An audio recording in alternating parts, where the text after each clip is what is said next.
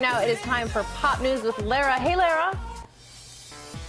Hi, good morning, everybody. We're going to begin with some very happy news today for Demi Lovato, the singer taking to Instagram overnight to share the news she's engaged. We're so happy for her. Look at these photos of her and her new fiance, actor Max Ehrich.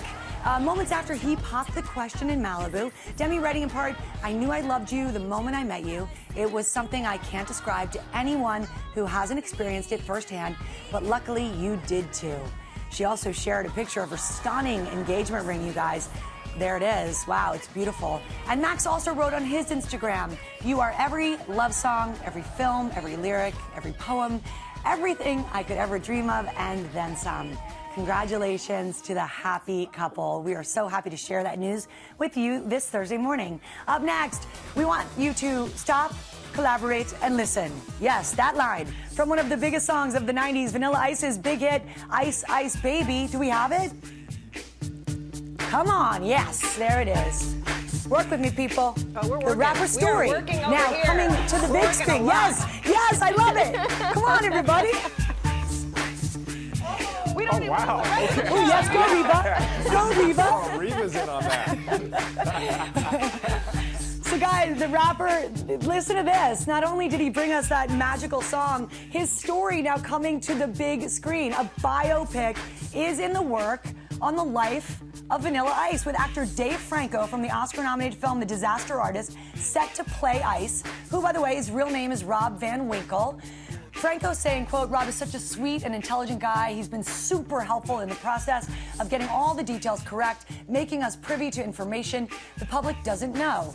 The movie, as we understand it, will cover Rob's start as a high school dropout, selling cars in Dallas, to having the first hip hop single to top the Billboard charts.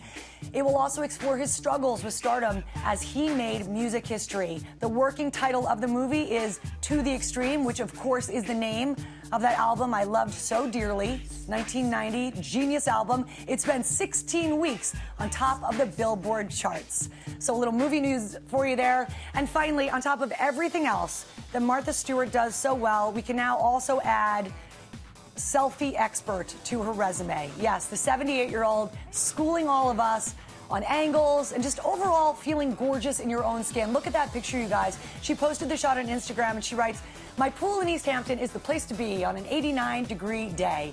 We'll say. And the internet agrees. The fans going crazy over this shot, including Chelsea Handler, who tried to recreate it. You look gorgeous, Chelsea. Martha also commented. She writes, Dear Chelsea, I'm so happy that you liked my post well enough to emulate it. I do think my pool is a little bit prettier than yours, and my facial expression is a little bit more relaxed. Nevertheless, you are a beautiful girl and too young to be emulating me. Well, guys, Chelsea wasn't the only one who tried to figure out how the heck Martha looks so darn good. Oh, At the go. producers of GMA's behest, Yep, I tried. 12 attempts later, and I look like I'm like I'm injured or something. Like I need I need medical attention. Okay, you can take the picture down. Are you happy, producers? Yeah, there you go. There's the other attempts. There were 12 in total. That was the best one. Martha Stewart, Love you it. are beautiful. Thank you for sharing that. And on that note, I send it back to you all in the studio. Gorgeous as always, Yes. Lara. Thank you so much.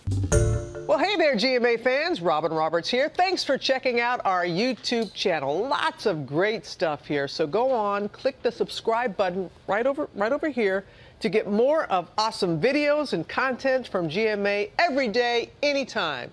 We thank you for watching, and we'll see you in the morning on GMA.